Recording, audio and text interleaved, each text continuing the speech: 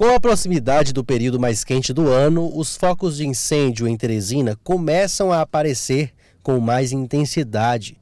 No primeiro semestre do ano, foram registrados 48 focos de incêndio em Matagal e 51 em terrenos baldios. A partir de agora, a tendência é aumentar. Normalmente a gente verifica, a partir do mês de julho para agosto, normalmente essa quantidade de focos de incêndio, normalmente ela dobra chegando até triplicar esses números que vai do mês de, de, de julho para frente.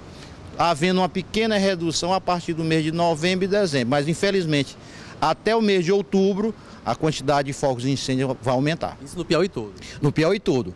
O Corpo de Bombeiros tem observado em todas as unidades da corporação esse aumento. Há uma preocupação quanto aos locais que acontecem os incêndios, quanto à vizinhança.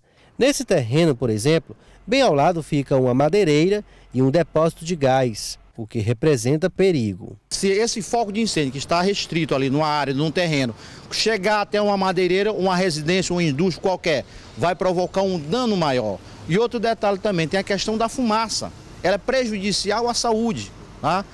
Você pode ver crianças, nós estamos no período de, é, de baixa umidade, e é uma criança, tem um idoso inalando essa, essa fumaça, pode até provocar é, consequências de uma doença, mas, ou agravar uma doença a mais.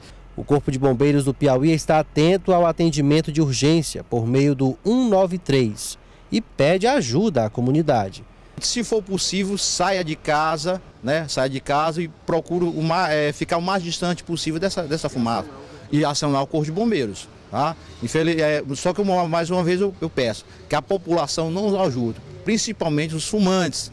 Não pegue bagana de cigarro, joga esmo, procure apagar e tudo, que isso vai facilitar o nosso serviço.